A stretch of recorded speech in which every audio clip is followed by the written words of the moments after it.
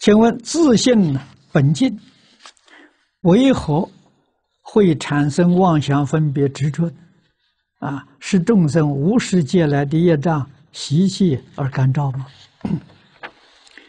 这个问题，释迦牟尼佛在世的时候，富农那问过，在《楞严经》第四卷，你就看看，他问的跟你一样，你看世尊怎么回答的？